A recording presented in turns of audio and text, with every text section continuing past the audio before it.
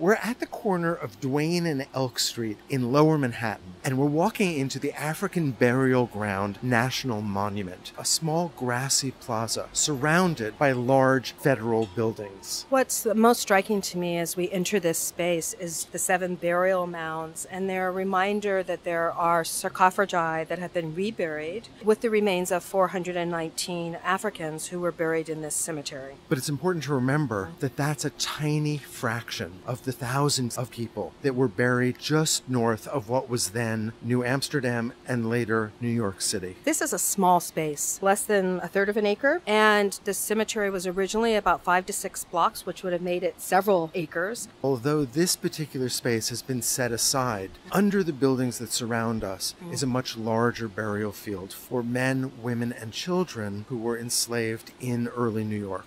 And as you move through the space, you see the very large ancestral chamber and you hear the faint sounds of running water. The sound of the water creates a kind of audio envelope for me. It allows me to enter a more contemplative space that is almost insulated from the sounds of the city outside.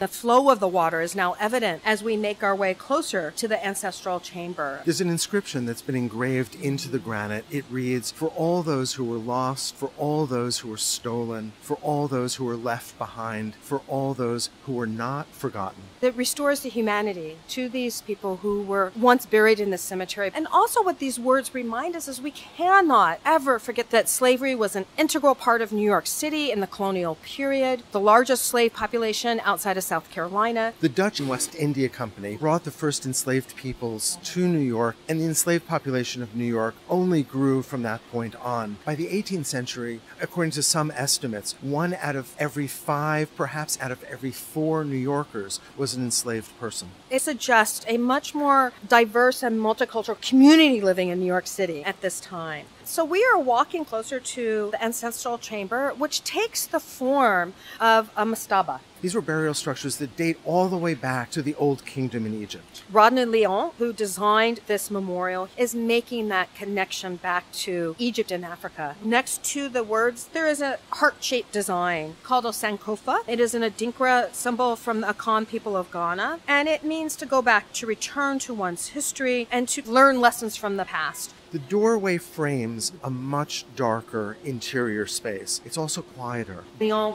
very deliberately created a pause moment within the memorial. The walls lean in, and although there is a soaring quality, there's also a sense of entrapment. And there seems to be an analogy to being within a ship's hull, perhaps being within the prow of a ship as an enslaved person. The other thing is the enormous slabs of granite that make up this triangular tomb. And this black granite was imported from Africa. Selecting where your granite comes from says something about the monument itself. There's something really deliberate about the way we're invited to walk down eight steps to this lower platform. First, we have to cross a bridge, and then we get to this large inscribed circular map. It feels as if we are docked in a ship and then we'll cross the gangplank, so to speak, and enter into the larger space called the Ancestral Libation Court. I notice as we descend the staircase, the sound of the water becomes more pronounced. Water as transport, but water as a spiritual passageway as well that allows the ancestors to move from this world to the next world. And that becomes even more powerful when I remember that there are still bodies buried below us. We are in a sacred space that is now a monument. And by libation, we're talking about a ritual which remains common in many cultures in West Africa. These libations can be palm wine, they could be alcohol, they could even be blood offerings. That liquid is poured onto the ground. You're offering the ancestors this libation, you're recognizing the power of their presence within the space. These practices were not always allowed in the 18th century. The cemetery comes into being because of the notion that Africans could not be buried in the Trinity Cemetery, which is a white only burial space. In fact, there were rules passed that not more than 12 people could attend an African funeral and that the funerals had to take place during the day. And remember, where we're standing was north of the city itself. In fact, there was a palisades, that is, the wooden wall that separated this space from the city to the south. There's a fear that congregation might lead to insurrection, rebellion, resistant acts. And so that regulation of even burial practice essential to how New York City slave owners thought about the enslaved persons who worked for them. So we're in a circular space with a ramp that spirals up, but in the center, inscribed in the paving, is a map of the world. We can make out the east coast of the United States, of where New York is located, and see it in relationship to the triangle trade, in relationship to West Africa, to South America, and even to Europe. This is a really enormous capitalist movement, this push to harness black labor to profit in the United States, the Caribbean, and South and Central America.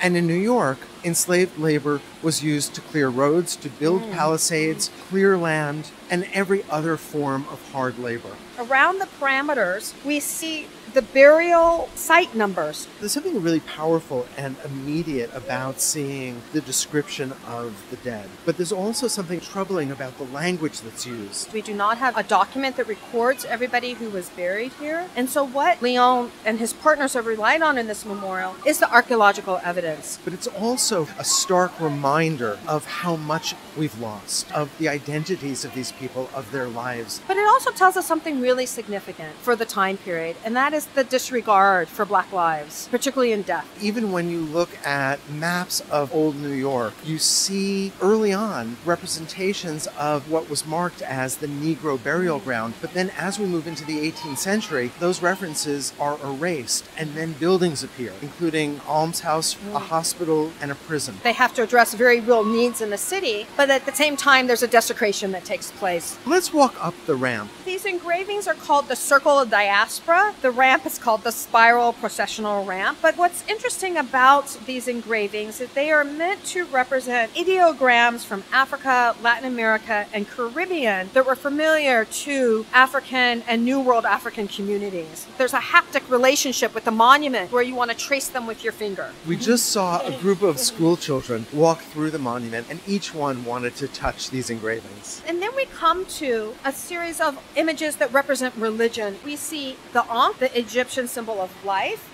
We see a medicine wheel from a Native American circle of life, the Latin cross for the Christian faith, and then we see the Islamic crescent with a star. And it's an important reminder of the cosmopolitan nature of mm. early Dutch and English New York.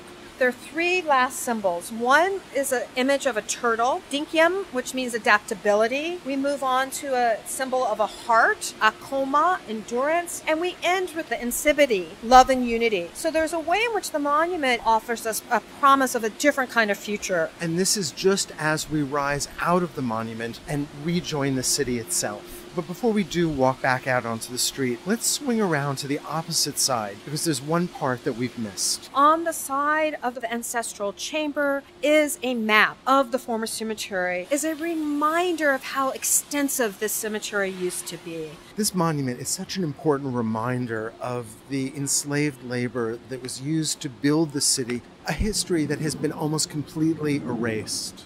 And this notion of erasure is really significant when it comes to the memorialization of the past and of slavery, about who gets remembered in public space, who has the right to have a monument, how do we go about deciding what these monuments are going to look like.